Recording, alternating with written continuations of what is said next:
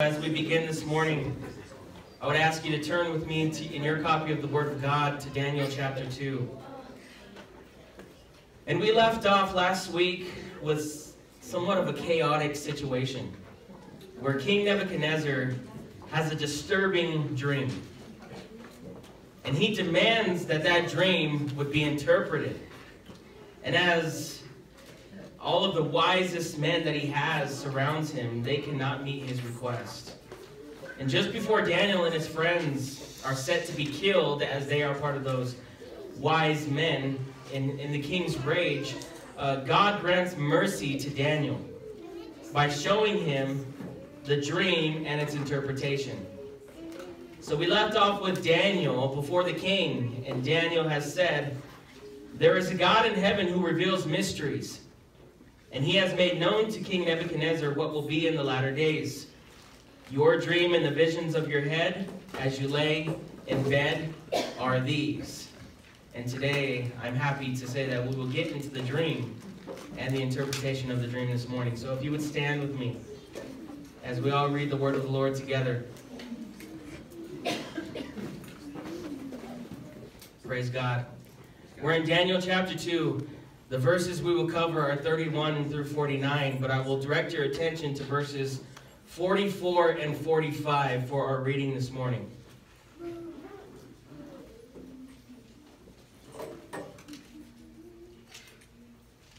Amen. Sorry. And this is the word of the Lord. And in the days of those kings, the God of heaven will set up a kingdom that shall never be destroyed nor shall the kingdom be left to another people. It shall break in pieces all these kingdoms and bring them to an end, and it shall stand forever. Just as you saw that a stone was cut from a mountain by no human hand, and that it broke in pieces the iron, the bronze, the clay, and the silver, and the gold. A great God has made known to the king what shall be after this the dream is certain and its interpretation sure. Let's go to the Lord and ask Him for help. Heavenly Father, we worship you this morning. And we ask, God, that as we listen to your word, Lord, that we would grow in our faith, that we would be strengthened in our walk. And I ask, Holy Spirit, that as we consider this narrative, that you would illuminate the page so that it would shed light on our own lives so that we may be closer to you. Lord, would you guard my heart, guard my mind, guard my thoughts, and keep me from error. And may the words of my mouth and the meditation of my heart be acceptable in your sight and your sight. O Lord, my rock and my redeemer. Amen. You may be seated. Amen.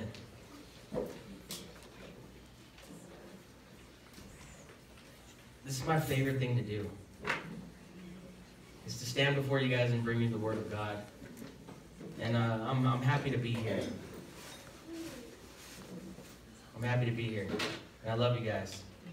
Love you too, James. Thanks, brother. So here we are.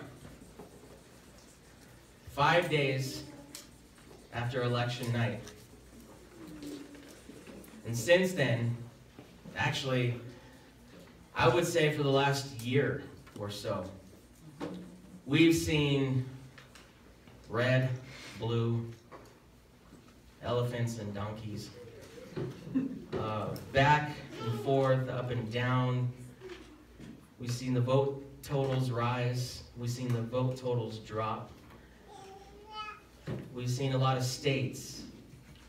Uh, my, my kids have seen this, the United States map so much this week, they can tell you where Nevada, Arizona, Pennsylvania, Georgia, North Carolina, they can tell you where all these states are, and they know because they're yellow. Um, anyways, we're considering lawsuits. I mean, there's so many things that have happening, that have been happening in the last five days, and uh, yesterday they declared our new president-elect. It's the most chaotic election season that I have ever been a part of. Uh, it's the most chaotic that I can remember or that I'm even aware of. But we come here on the Lord's Day, the first day of the week, and we ask ourselves, what on earth just happened? I don't know about you, but the week that I've been having, I woke up this morning saying, God, what just happened? And my God is gracious uh, to comfort me during this time. But King Nebuchadnezzar, he was just as puzzled after his dream. And I would say that he overreacted, maybe a little bit more than we did, most of us. Uh, in his rage, he decided to kill a lot of people. And uh, luckily, God came through and spared uh, the lives of those who would be killed because of his faithfulness to Daniel. But the Lord provides an answer for the king through Daniel. And that's what we will cover today. And I think that as we wake up puzzled, confused, and maybe some of us rejoicing, maybe some of us a little distraught, I pray that Daniel's answer to the king would be our answer this morning as well. In this, we will see our doctrine this morning that the kings and kingdoms of the earth are subject to Christ and his kingdom. Such a timely word. The kings and kingdoms of the earth are subject to Christ and his kingdom. I've divided up this passage into three sections. First, we will look at the king's dream and its interpretation. Secondly, I want us to consider the stone that struck the image in the dream and that stone that became a great mountain. And then third, I want to look at how Nebuchadnezzar recognizes the Lord in heaven. So here we go. Number one. Uh, again, we're going to be going through quite a, a large chunk of scripture. Um, but just follow along in your Bibles in Daniel chapter 2. Uh, I'm going to throw in a bunch of other scripture as well. Um, so get your notepads handy. Uh, for all of our members here, I've sent out the notes with those uh, scripture references attached, and you can see those. Verse 31, Daniel chapter 2. We're going to look at the king's dream and its, its interpretation. It reads, You saw, O king, and behold, a great image. This image, mighty and of exceeding brightness, stood before you, and its appearance was frightening. The head of this image was fine, was of fine gold. Its chest and arms of silver. Its middle and thighs of bronze. Its legs of iron. Its feet partly of iron and partly of clay. As you looked, a stone was cut out by no human hand, and it struck the image on its feet of iron and clay, and broke them into pieces. Then the iron the clay, the bronze, the silver, and the gold, all together were broken into pieces and became like the chaff of the summer threshing floors. The wind carried them away so that not a trace of them could be found. But the stone that struck the image became a great mountain and filled the whole earth. We'll stop there for a second. In the king's dream is this massive image this statue, this sculpture, if you will. It was an image that was, as described by Daniel here and as seen by the king, this sculpture, this, this image was mighty. It was strong and structurally sound. It also had exceeding brightness, and it could be seen as far as the eye could see. It's also described as being frightening. So it gave off a sense of dominion, a sense of oppressive power. Notice uh, that as we look and we consider this image, the pattern of the materials as you go down. It goes from strong to more delicate. It goes from shiny to a little more dull.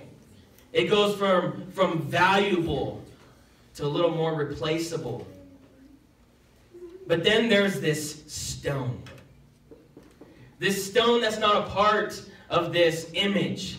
A stone that is carved out of a mountain, not by human hands. So it's some divine, supernatural stone. It wasn't a notable, strong, or precious metal. It wasn't fashioned by human hands like iron and clay often would be. We don't know the trajectory of the stone. We don't know the velocity of the stone and how fast it was going, but it was strong enough not only to disintegrate the materials of the image, but then it was strong enough to grow into a great mountain that filled the earth at the very location that the image stood after it was disintegrated. Now, as you look at this, it might be a little easy for us to maybe generally interpret this dream. See, because we, we're aware of a lot of this imagery, we're aware of a lot of these metaphors, and we can look at this dream and we can say, oh, the king should have just called on me. I could have interpreted for him. But, but something that we need to look back on is that Daniel, his companions, King Nebuchadnezzar, they weren't aware of Jesus Christ. They were aware of a Messiah coming, but they weren't aware of Jesus Christ. You see, these Jewish boys, they would have been good Jewish boys coming up in Jewish homes before they were taken to Babylon, and they would have been familiar with Deuteronomy 32 4. Deuteronomy 32 4 is the first instance that we get in Scripture where God is referred to as the rock. Deuteronomy 32 4 states, The rock his work is perfect, for all his ways are justice. A God of faithfulness and without iniquity. Just and upright is he. See, this, again, being the earliest reference to God being the rock, to represent his steadfastness and his strength. These boys would have also been familiar with quotes from King David in the Psalms. Quotes like, O Lord, my rock and my redeemer, also quotes like, the stone that the builders rejected has become the cornerstone. It's very likely that they would have had the Isaiah scroll with them as he prophesied before them. And they would have seen words like, He will become a stone of offense, a rock of stumbling, and many shall stumble on it. They shall fall and be broken. I would think it's very likely that they would have referred to that after hearing about this dream. But they would have also recalled where Isaiah said, Behold, I am the one who has laid a, as a foundation, a foundation in Zion, a stone, a tested stone, a precious cornerstone of a sure foundation. You see, so though I think Daniel and his friends knew where this is going. And they, they had an idea of the sense of the interpretation of this. But Daniel was interpreting dreams of the future. While when we look at this passage, we look back at history. Well, most of us look back at history. There are different ways to interpret this passage of Scripture. Some of us might see this as future events that have yet to occur. Some of us may look at it as history. But before we get into that, let's look at the interpretation. Verse 36. This was the dream. Now we will tell the king its interpretation. You, O king, the king of kings, to whom the God of heaven has given the kingdom, the power, and the might, and the glory, and into whose hand he has given, wherever they dwell, the children of man, the beasts of the field, and the birds of heavens, making you rule over them all. You are the head of gold, Daniel tells Nebuchadnezzar. There is no mincing of words here. And even though Daniel refers to Nebuchadnezzar as the king of kings, he is sure to mention that that status comes from the God of heaven. Oh, Nebuchadnezzar, sure, you are the king of kings. You rule over everything. But God has given you that title. It is God who has set you up to be that king. And notice, notice something here that this is unmistakably similar to the command given to man in Genesis chapter 1. Did you see that when, when we read through that? Did you say, I've seen this somewhere? That in Genesis 1, God tells Adam to fill the earth, to subdue it and have dominion over the fish of the sea and over the birds of, of, of the heavens and over every living thing that moves on the earth. And likewise, Daniel tells Nebuchadnezzar that you have the power, the might, and the glory and it's in your hand that God has given, wherever they dwell, the children of man, the beasts of the field, the birds of the heavens, and you rule over them all. You know, I, I find that as an interesting correlation there. And, and it's, and it's, it, it's, it's ironic that, that, that, that what God has given Nebuchadnezzar is what God has always given man since the beginning. But where, where man tends to fall short is to continually incorporate man's ideas, man's opinions, man's thoughts into their ways of doing things. Not to mention here, what's even more ironic is the Garden of Eden. If you look at that passage where you see where it's located, there's four rivers in the vicinity of the Garden of Eden. It's, it's, it's in the, the, the realm of four rivers, and two of, those, two of those rivers is the Tigris and the Euphrates. Now, ancient Babylon, uh, this is post-flood and everything like that, so there's probably some geographical movements and stuff like that, but even ancient Babylon was in the vicinity of the Tigris and the Euphrates. But ancient Babylon, as we know it, with Nebuchadnezzar, is considered to be one of the greatest ancient empires to ever exist more directly with God himself giving the power, might, and glory to him, Daniel identifies the gold head as Nebuchadnezzar and his empire. We go on to verse 39. Another kingdom inferior to you shall arise after you, and yet a third kingdom of bronze which shall rule over the earth. And there shall be a fourth kingdom, strong as iron, because iron breaks to pieces and shatters all things, and like iron that crushes, it shall break and crush all these. And as you saw the feet and toes, partly of potter's clay and partly of iron, it shall be a divided kingdom. But some of the firmness of iron shall be in it. You shall, or just as you saw iron mixed with the soft clay. Now, here, here is where this passage becomes so fascinating. And I love this stuff. You know, you get into talking about the eschatology and things like that. But as we consider this, we ought to be intentional. And we ought to be careful not to overinterpret Daniel's interpretation. You see, because the, the dream has already been had and it's already been interpreted.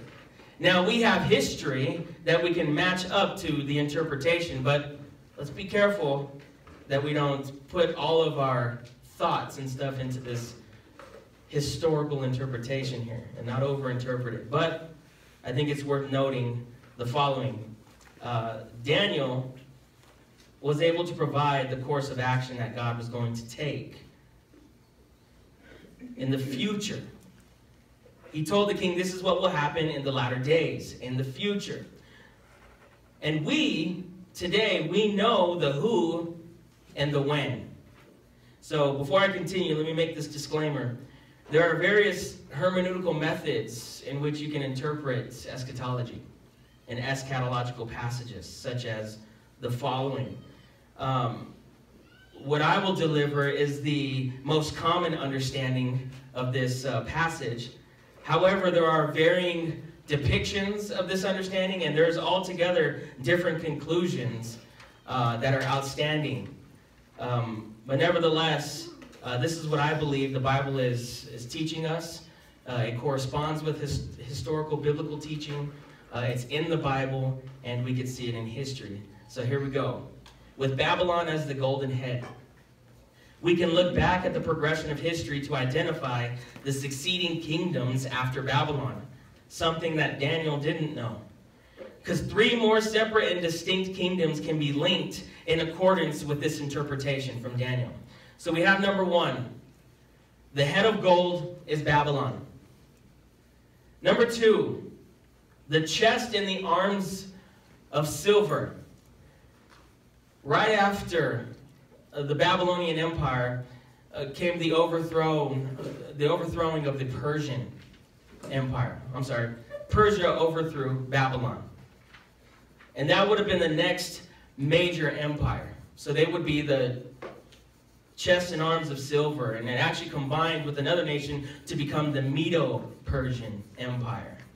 And then number three, you have the middle and thighs of bronze. Now, the country and the kingdom that, that is known to have overthrown Persia was Greece. And you have Alexander the Great and his mighty conquest.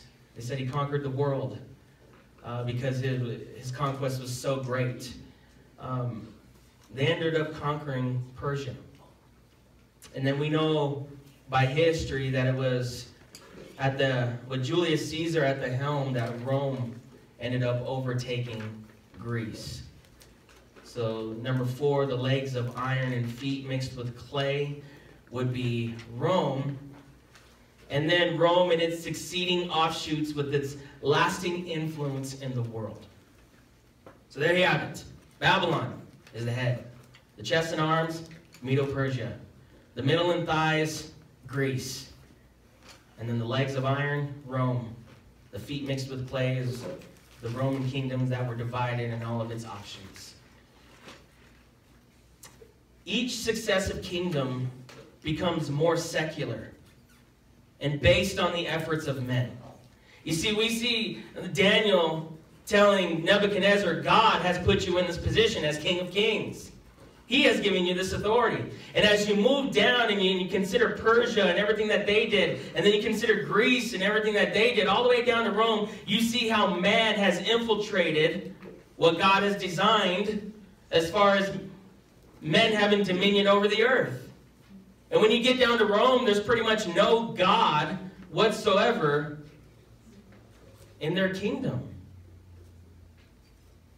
One commentary said it like this quote, the colossus of metal stands on weak feet. I like that.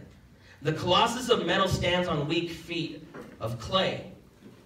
All man's glory is ephemeral and worthless as chaff. The world power, in its heterogeneous constituents successively supplanting one another, contains the element of decay in other words, even though it portrays glory, even though this statue seems mighty, it is bound to fail. There is no way that this mighty image will continue forever. It is bound to fail.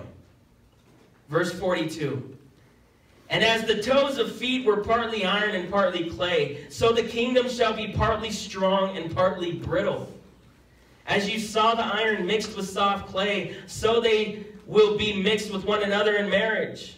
But they will not hold together just as iron does not mix with clay. You see, this particular, uh, there, it seems like the feet here become some sort of focal point in this image. We're talking about Rome, right? The iron, the legs of iron. We're talking about Rome here. Rome got to a point when it was divided into two sectors. The east and the west empires of Rome, hence the two legs. A strong historical case can be made that in the 5th century after Rome fell, that it was divided up into 10 kingdoms that the majority of the world can trace its history back to. 10 kingdoms, like 10 toes, right? And in these 10 kingdoms, that was, that was noted here, we can see essentially the framework for what we have as nations today. I mean, we're talking kingdoms like France and Germany, Britain, and so on and so forth. Rome has had a major influence on the modern world. Rome still today has a major influence on the modern world. We can see its impact in our art, in our architecture, in technology, literature, language, and law. I mean, many of our terms in law are still in Latin, which was the language of Rome. culture is littered with Roman influence from government to education to even a healthcare system. These all came from Rome. National Geographic was, I was, I was reading an, an article that was talking about Rome's influence on the modern world here, and much of the English, English language is from the Greco Roman foundation, Greece and Rome. We even have our days and our months named after Roman emperors and gods August, Augustus, Saturday, Saturn. You know, that the, the influence of Rome still permeates the world today. You know, Rome set the standard for civilized for a civilized world. And, and let's let's not I mean we got we got to remember this is Rome what it did is it picked up a lot of the, the culture and traditions of Greece. You know, like Rome and its gods of Jupiter and Saturn, those are just a renaming of the Greek gods. And then we talk about Hellenization and a Hellenized world. See, although Rome was at the helm, they still spoke Greek. Our New Testament is written in Greek. And that was the height of the Roman Empire. So Greek's influence on Rome was very, very heavy. And, and Rome kind of came to its own. But we need to understand as well that Greece, when it was established, it took a lot of the traditions, customs, and culture of Persia of Persia. See, when you conquer a nation, you don't just flip the people and flip the cities to conform to you. You integrate it. You take a lot of their good traditions and their good customs and you formulate it into your own new culture after you conquer a nation. And let's not forget that Persia and the great nation that they became was in large part because Babylon was a major influence on Persia. So when you have Rome being an influence to the modern world still today, heavily, I mean, there, there's so many things that you could look at in our system today that's like, man, that's, that's like, that was started in Rome. Rome is just an amalgamation and an integration of the lineage of kingdoms that we've seen beforehand. And essentially, we have the rest of the world from this lineage and this dream that we see.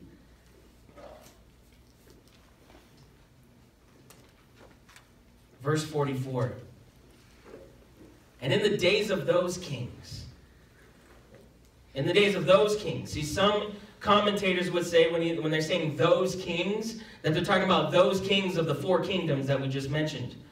You know, the Babylon, Medo-Persia, Greece, and Rome. But I think since there's a focus on the, the toes here, the feet of this image, I think he's talking about the kings of that time, the kings of Rome and its offshoot kingdoms.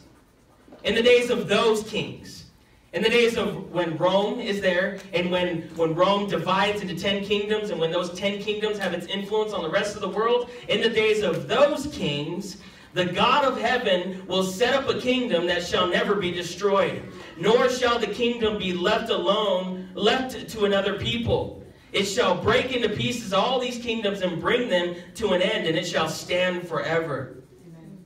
Just as you saw that a stone was cut from a mountain by no human hand, and that it broke into pieces the iron, the bronze, the clay, the silver, and the gold. You see, there's a kingdom that's going to be set up that's going to last. It's not going to be, it's not going to have an end like this image does. It's going to last forever. It's going to become a huge mountain. It's going to crush this image. This kingdom is not going to be handed over to another kingdom like Babylon was to Persia, and like Persia was to Greece, and like Greece was to Rome, and Rome to ten other kingdoms, and those ten kingdoms to other kingdoms. It won't be handed over to another. It will stand and it will last forever. And it all comes from a stone. One stone. What is this stone? What is this stone? As we move on, I want to say that although that interpreting this and matching the history with the dream, it can be fascinating to discuss. And we could look at all the different interpretations and look at all the different takes on how this works out and like this is what i think it is well this is what where i think it matches up in history we could do that and it, and it could be fun and great discussion but I would submit to you guys this morning that the interpretation of that and matching countries to the image, that is not the point of this dream. That is not the point of this passage. What is the stone? Let's talk about that. Secondly, the stone that struck the image and became a great mountain. The stone that breaks into pieces all these kingdoms and brings them to an end. Did you hear that? The stone that breaks down these, this, all these kingdoms. And it brings those kingdoms to an end, like dust, like chaff in the wind. Egypt was known to rule the world at one point, and they fell. The great nation of Israel, with King David, Josiah, Hezekiah, all those great kings, Israel fell. Babylon, Medo Persia, Greece, and Rome. Those great kingdoms, they fell. The Mongols in Asia, guys like Attila the Hun and Genghis Khan, they fell. Britain, Germany, the USSR, all those great nations, they fell.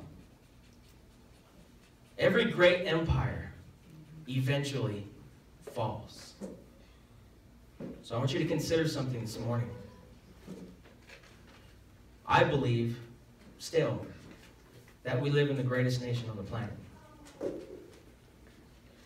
I believe it's the greatest nation in the world. The United States of America is susceptible to this trend. Remember that. And every kingdom that will rise after the United States of America will eventually blow away like chaff in the wind. You know, do, do you know what it means when it talks about like chaff in the wind? In those days when, when, when they would take their winnowing fork and they wanted to separate all the, all the nasty chaff from the wheat. The wheat would be so heavy that when the fork would go into the chaff, it would, they would kick it up into the air and the wind would carry away the chaff and the wheat would fall. So it was a good separation tool. So it's like the chaff, it'll just blow away. It's not strong. All those kingdoms will fall. But not the kingdom of God. I love the amens. Because we know the kingdom of God will not fall. For as it has been set up during the time of these kings, during the time of the kings of all the nations that I just mentioned. This kingdom has been set up during the time of Donald Trump. This kingdom has been set up during the time of Abraham Lincoln and George Washington. This kingdom has been set up all throughout, throughout history. Up until this point, this kingdom has been set up. It's God's kingdom. It will never be destroyed, and it will stand forever. The stone, guys, the stone that was cut from the mountain of God, Mount Zion, if you will, by no human hand, supernaturally, divine, heavenly, as if the Holy Spirit Himself cut out the stone. Brothers and sisters, I'm here to declare it to you this morning today that Jesus Christ came from heaven, that he was conceived by the Holy Spirit. He is the stone that obliterates the kings and the kingdoms. Amen. He is that stone. Paul states in 1 Corinthians, For no one can lay a foundation other than that which is laid, which is Jesus Christ. And if you go to Ephesians, he elaborates there that Christ Jesus himself is the cornerstone of that foundation. It is Jesus Christ that is the stone. Paul goes on to declare that the rock, the rock that followed God's people in the wilderness with spiritual drink, that rock is Christ. Amen. That rock is Christ. And it gave them water to survive and live. Oh, guys, I call you this morning, drink of the living water of Christ, and you will never go thirsty again. You'll never go thirsty again. And it was after Peter. It was after Peter had made the confession You are the Christ. You are the Christ. You are the Son of the living God. It was after he made that confession when Jesus triumphantly declared, I will build my church on that rock. We just got done talking about how Jesus is the rock. We looked at so many Old Testament scriptures talking about how God is the rock. Where does where do the people constantly dig their head and put their put their sights towards Rome and say that this rock is somebody else or something else? Come on. Let's look at the entirety of scripture and see that God has always been the rock of ages. There is no other rock. You can't tell me that some man cooped up in a mansion in Rome right now, is going to crush all the nations. It is Jesus Christ that crushes these nations, not Peter. Turn your heads from the fallacy of Rome. Don't look there. It's none other than the rock of ages, the rock of salvation, the rock of refuge, the stone of offense, the cornerstone, Jesus Christ. He is the rock. My hope is built on nothing less, guys. Because it's on Christ, the solid rock I stand. Christ is the solid rock that I stand on. Nothing can withstand his impact. Nothing can withstand his impact and the force that turns all other kingdoms to dust. I'm good, bro. Don't worry about it. Come on. Got to channel the inner Spurgeon this morning. You all right with that? Oh, let's go. Listen, guys, nothing, nothing can withstand the impact of Christ and the force that turns all other kingdoms to dust. Likewise, nothing will prevent the growth of his kingdom. Nothing will prevent the growth of his kingdom. I don't care who is put in office. They are not going to thwart the growth of the kingdom of heaven. When it's all said and done, it will be a mighty mountain that fills the entire earth. And when you go to 1 Corinthians chapter 15, that, that beautiful passage of scripture that talks about the resurrection of Christ and our resurrection. And, and it talks about the, the eschatology, the, the, the, the last times when, when Christ is going to conquer everything. You see that in verse 24 and through 26, it says, Then comes the end. Then comes the end. How many are waiting for the end? I'm waiting for all this to be done too. Then comes the end. When he delivers the kingdom of God the, the kingdom to God the Father after destroying every rule and every authority and power. For he must reign until he has put all enemies under his feet. The last enemy to be destroyed is death. Folks, we just saw an image here. We just saw a dream of where the rock, Jesus Christ, is destroying the nations. And then we see Paul here saying that in the end, he will deliver the kingdom to God the Father. After he has destroyed every rule, after he's destroyed every authority, destroying every power. But he is reigning right now. He must reign until he has put all those enemies under his feet. Don't tell me that Jesus isn't reigning right now. Don't tell me that he's not in control right now. Look, some of us might think, oh my gosh, oh, or oh our gosh, uh, God has lost control. God has lost control. No, God, he hasn't lost control. He is reigning right now, and he is putting all his enemies under his feet. And that last enemy, the last enemy is death as people still die today. But in the end, we don't experience that. Christ will defeat death.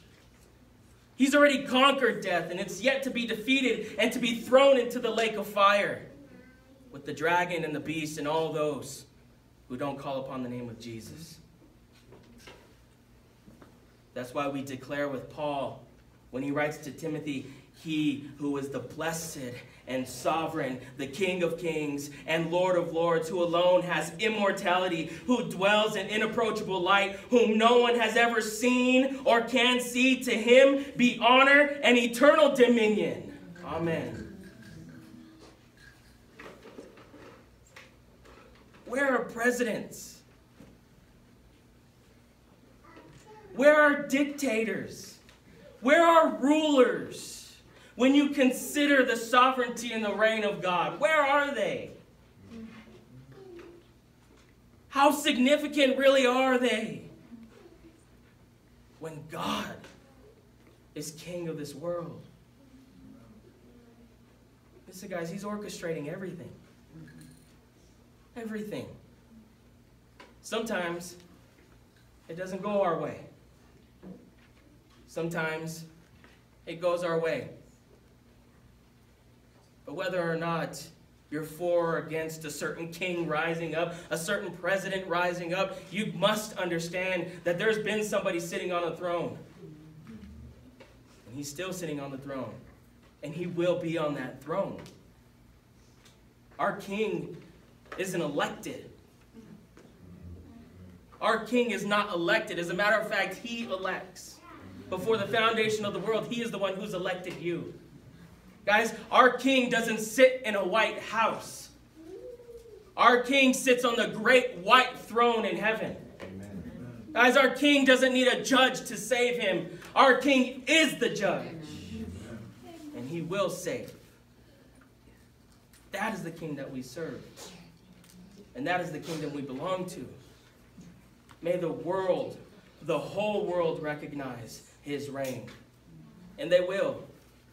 They will. Philippians chapter 2, it says, At the name of Jesus Christ, every knee should bow in heaven, on earth, and even under the earth, and every tongue will confess that Jesus Christ is Lord to the glory of God the Father. That's the kingdom that we belong to.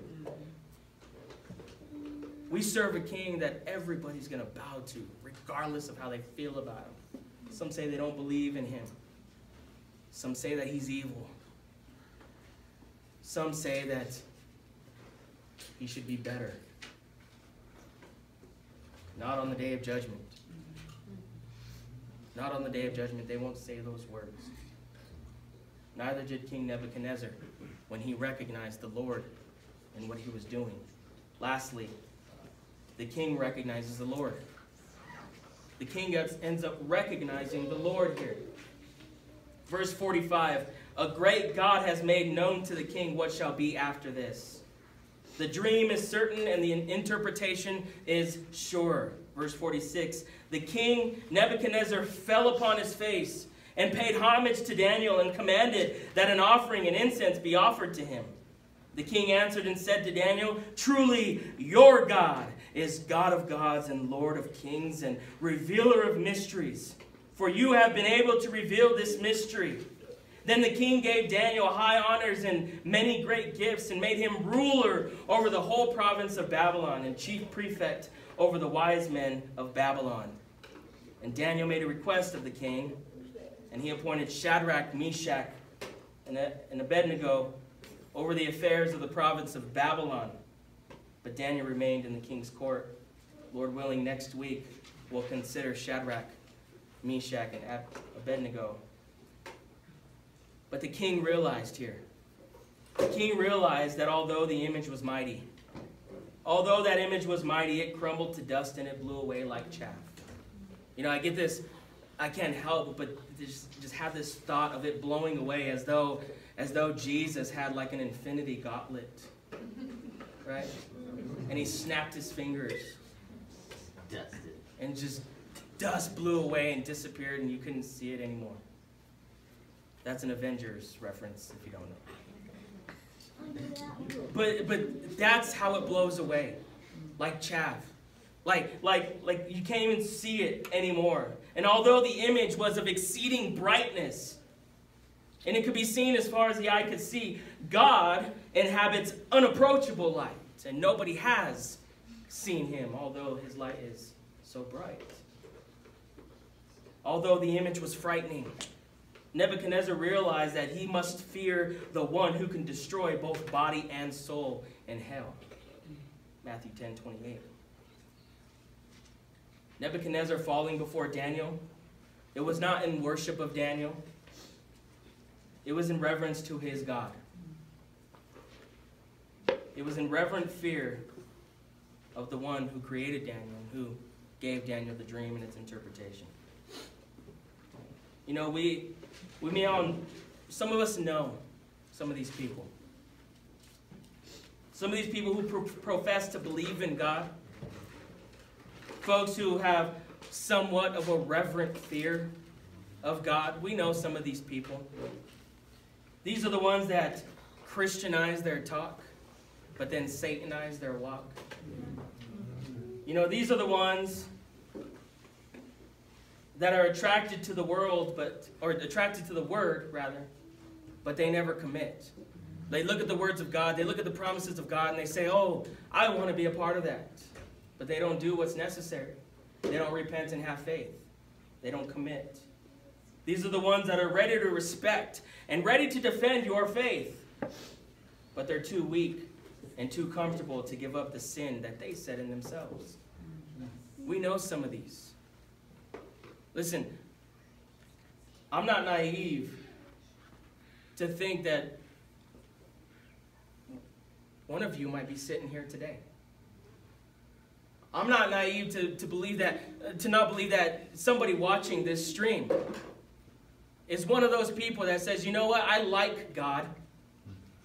I like the idea, but you know what? That's just not my thing. You know, I'm all for you. Oh, yeah, God is in control. Amen, brother. They like your Jesus is King posts and stuff like that. You know, I realize that some are out there like that, that are hearing this right now. And to them, I would say that I appeal to you to, like Nebuchadnezzar, don't meet Christ and reject him. Don't see the work of God and reject it. Don't experience the Word of God and reject it. Don't. Repent of your sin. Put your faith in Jesus Christ this morning. That is the call for you today. Peter says in his first epistle that Jesus is the living stone. The living stone rejected by men but in the sight of God is chosen and precious. And then Peter goes on to say that whoever believes in him will not be put to shame. Brothers and sisters who believe in Jesus Christ, we will not be put to shame. Amen? Amen? That is our King, that is our God, and we appeal to those who haven't put their faith and trust in Jesus to do that today. Repent.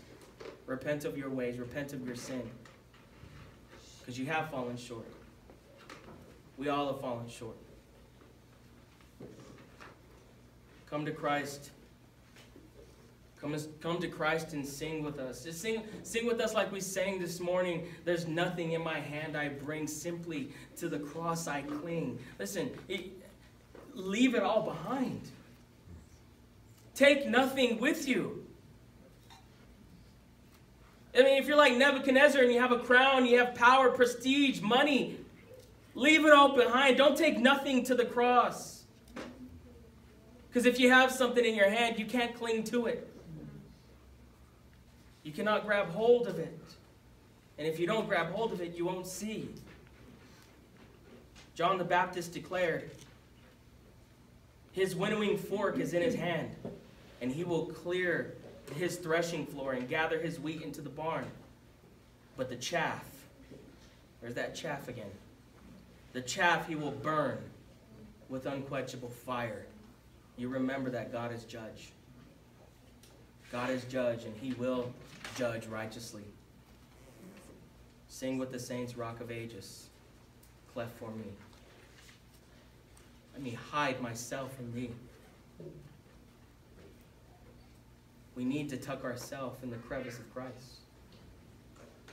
Because outside of him, we are in danger we will die. The doctrine again. The kings and kingdoms of the earth are subject to Christ and his kingdom. Such a timely message, wouldn't you agree? How wonderful and magnificent the Lord works in the timing of his messages to his people. Again, we didn't, we didn't plan this, we didn't foresee this.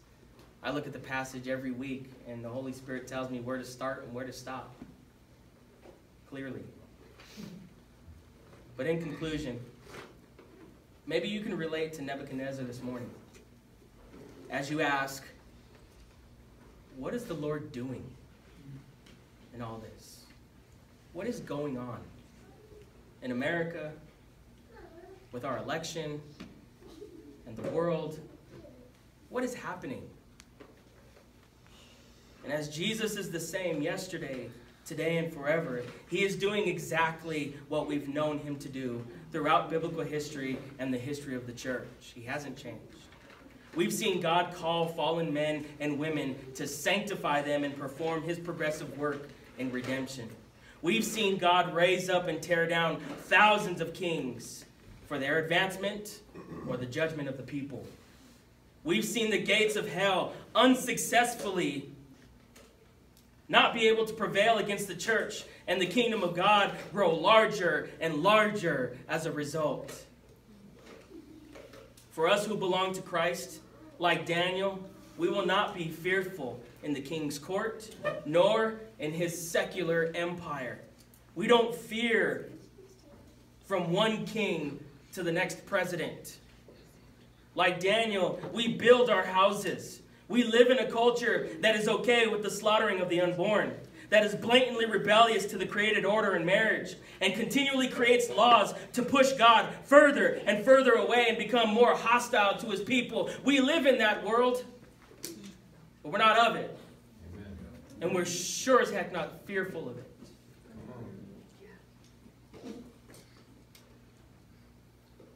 We don't fear this because we know that although we are in this world, we're not of it. The kingdom will be crushed. One day, the stone of God. One day, the stone of God will crush everything. Crush it all. So, what is God doing, you ask?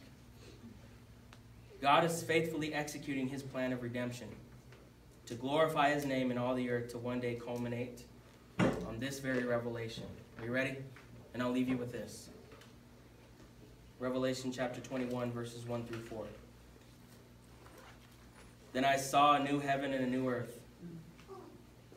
For the first heaven and the first earth had passed away, and the sea was no more. And I saw the holy city, New Jerusalem, coming down out of heaven from God, prepared as a bride adorned for her husband. And I heard a loud voice from the throne saying, Behold, the dwelling place of God is with men. He will dwell with them, and he will be his people, and God himself will be with them as their God. He will wipe away every tear from their eyes. And death shall be no more. Neither shall there be mourning, nor crying, nor pain anymore. For the former things have passed away. That is your promise, saint. And that is mine and I will cling to that. Heavenly Father,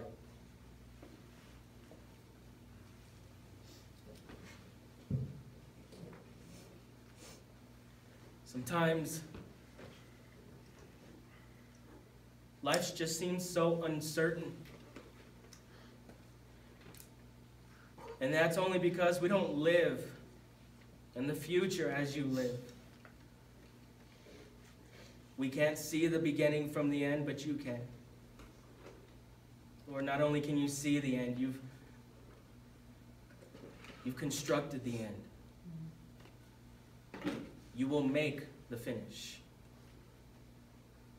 You will culminate it exactly as you've said.